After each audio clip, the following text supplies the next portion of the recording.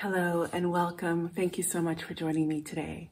I'm really excited about this video. I'm excited about all my videos, but this one feels especially important. Um, and I've been thinking about it a lot. In today's video, I'll be sharing with you my blood test results after being 10 years raw vegan. If you're new to my channel, my name is Tumi. I am a medical doctor, a dancer, a poet, and as I just shared, I've been raw vegan now for 10 years. It's been an amazing journey, but I think as a physician, I feel called to share about my test results. I don't know how many of you have had doctors share with you their test results, but it feels really important because I think that this lifestyle, raw living foods, unfired foods, um, plant exclusive, uh, sometimes has a lot of fear associated with it. People are afraid that they may have issues long term or short term on it. So I wanted to share with you uh, what my test results look like after 10 years on this lifestyle. I make videos on this channel around raw veganism, around um, plant foods living, around holistic health tips in general, minimalism, um, freeform locks, self-love, all of it infused with dance. And if that is of interest to you, any of that, consider subscribing down below. So let's get to my test results. First thing I want to say is maybe talk about my diet really, really quickly. I have been 100% plant exclusive diet, all plant, um, for 10 years now. I have been 99 5, 99.9% raw during that time. I do include nuts like cashews, which sometimes are considered not raw, even if they say raw cashews. Um, and I definitely, when eating out, have had things like heated nuts, so roasted nuts. I try to avoid that um, on my salads um, maybe sometimes toasted nori instead of raw nori, things like that. So I'm not going to claim to be 100% raw. That's not my reality. Um, but I feel amazing on greater than 99% raw. And I've been doing that now for 10 years. So let's get to my test results. I also want to say that the only supplements I take are B12 and only since I was pregnant and then breastfeeding, I'm still breastfeeding, I've also taken omega-3 and algal, um, an algae-based, uh, so all plant, uh, omega-3 DHA supplement to support the brain health of my little one. But really for the past 10 years, it's just been really been B12. And even that mostly sporadically, um, but I've been trying to be more consistent again since pregnancy and now breastfeeding. Now I can speak about blood tests for a long time. I'm a nerd in that way. I love speaking about diagnostic test results as part of my joy as a physician, but I'm a holistic physician. So what I do is I usually will guide people. I will go over their blood test results with them, their radiological tests, and then talk about holistic ways of managing whatever it is that they are dealing with challenge-wise, avoiding pharmaceutical medication. I also, to round out the work I do, I also um, create healing poem dances. So dances that are crafted from original poetry that are made to support and ignite the healing process of whoever is watching them. I do that for individuals and for communities and organizations and art and healing spaces. So I work one-on-one -on -one with patients and clients on their life and health challenges. And then I also create these healing poem dances. And that's how I integrate my love and my passions and my talents as a physician, dancer, and poet. And in this video, again, I'll be sharing with you just a part of what I do with clients and patients, which is go over their test results, but using my test results. Let's get started. First set I want to talk about is um, what we call the CBC, the complete blood count. And that's really looking at things like anemia, one's white blood cell count, uh, platelet, or the agents that help to stop you from overbleeding, so help with clotting, basically. All those test results were great for me.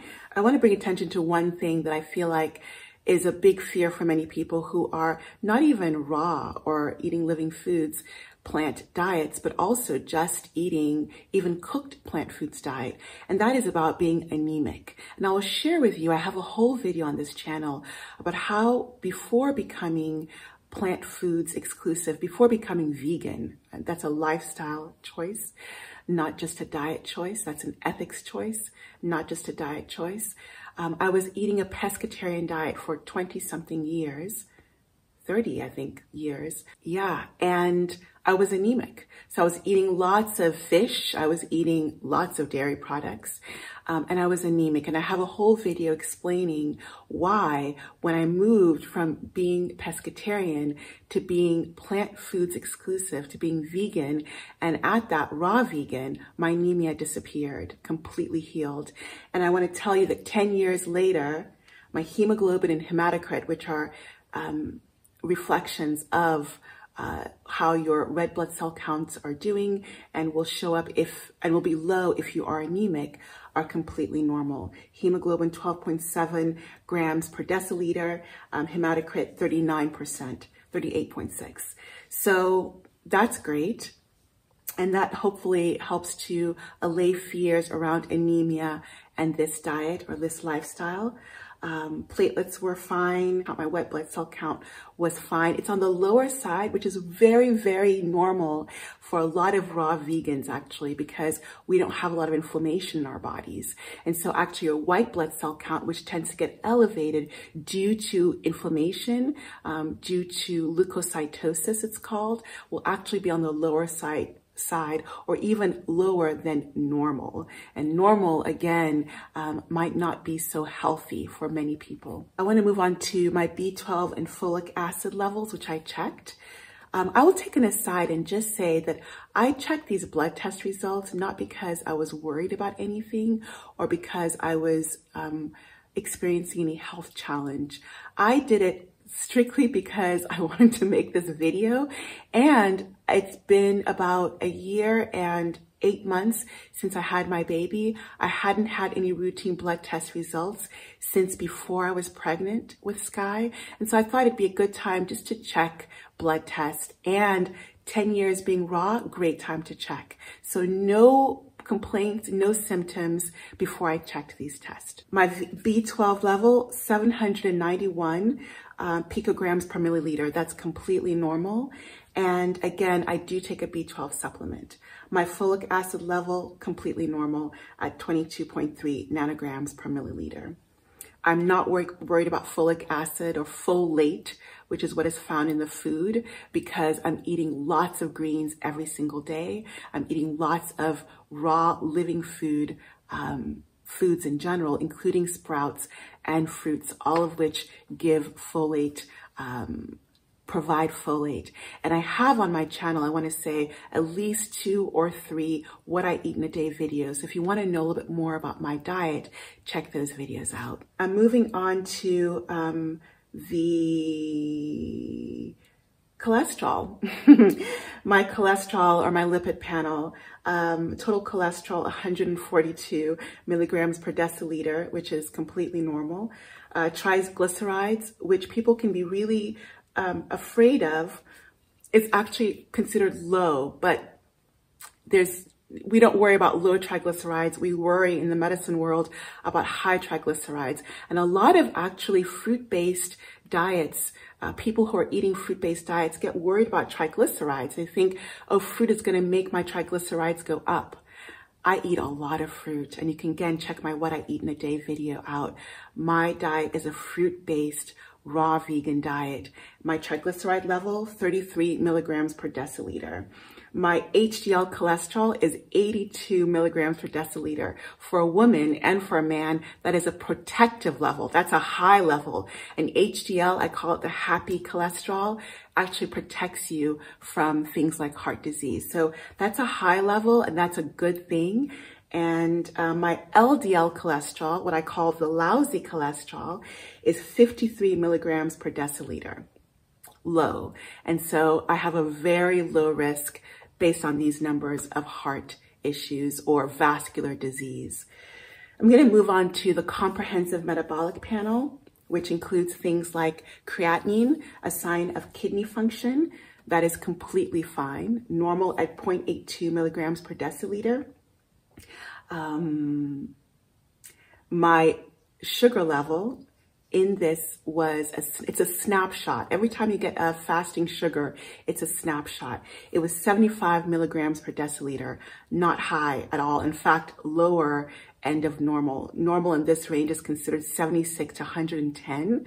For me as a physician, for me more than 100 um, milligrams per deciliter, I start, my eyebrows start raising for fasting glucose. Mine was 75. Again, I eat a ton of fruit. People are always worried about fruit and high sugar. There is evidence that high fruit does not does not correlate to being pre-diabetic or diabetic or causing you to have insulin resistance. I did get a follow-up test after seeing that glucose level just for the purposes of this video because if you're worried about diabetes, um, it's good to get a fasting sugar level, but it might also be good to get a hemoglobin A1C. A hemoglobin A1C calculates your average sugars over the past about three months. So while you may have a normal sugar one day, it's good to see, have I been having normal sugars in general? I'm not worried about diabetes at all in me. And I have a video on this channel about how fruit actually helps to prevent diabetes. Fruit in the context of a plant-based or plant-exclusive diet. And especially a low-fat diet. Um, but I decided to be complete and get a hemoglobin A1C level checked just for the purpose of this video. My level, 5.2%.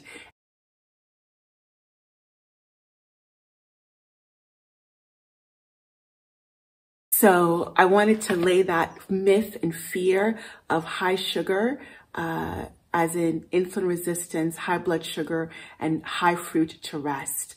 High fruit in a plant exclusive low fat diet is wonderful for preventing insulin resistance and diabetes. The other things I want to mention are the liver, right? So my uh, AST and ALT levels, which are um, enzymes that are checked uh, that will go up when you have liver inflammation. Those were completely normal at 21 um, and 25 units per liter.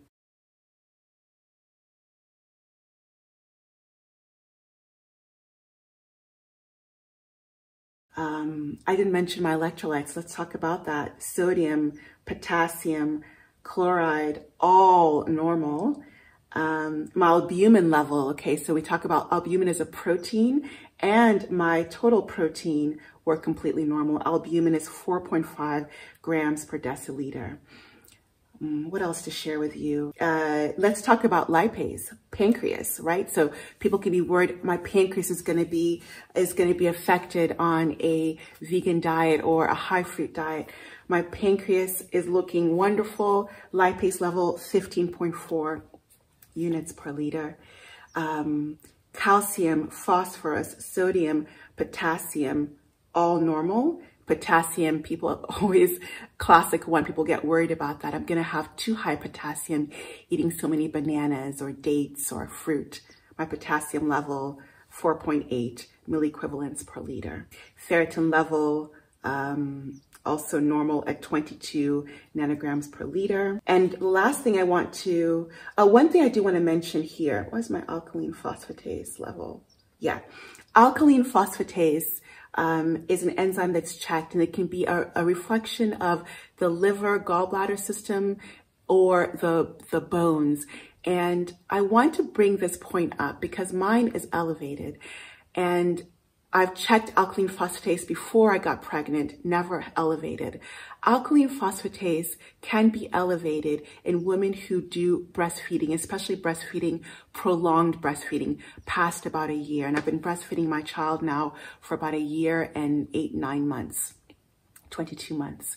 So know that, that if, especially in the, in the context of completely liver a normal liver test, you feeling great, you know your bones are healthy, um, alkaline phosphatase can be elevated with prolonged breastfeeding. So I wanted to make that point for those of you breastfeeding mamas out there.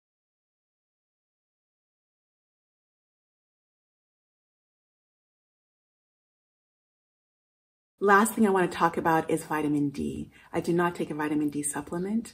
I get a lot of good, healthy sun time. I expose my skin to the sun in healthy amounts. I try to get naked sun time whenever I can. Um, and I live in the subtropics. So I have not taken a vitamin D supplement ever.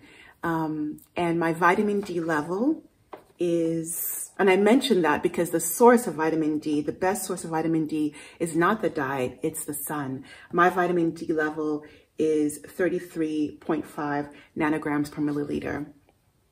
Um, and that's normal. Some people would argue, there's some physicians and healthcare practitioners out there that would argue, oh, you might want to get a higher level. I look for higher levels in people who are having health challenges. Maybe they having uh, in symptoms of inflammation, hormonal imbalance. But for me, 33 nanograms per deciliter checked after the winter months, I'm fine with that. I do not take a vitamin D supplement. I want to say to people who are not living in places where you get good sun or you know you're not getting good sun, please consider checking a vitamin D level and then repleting your levels if need be by getting good sun exposure if you can and or taking a vitamin D supplement. You can definitely find a vegan or plant-based one. Those are my test results. Um, I feel so good beyond the numbers. I feel amazing on this lifestyle. I've made videos on the reasons I love eating this way and living this way beyond the diet.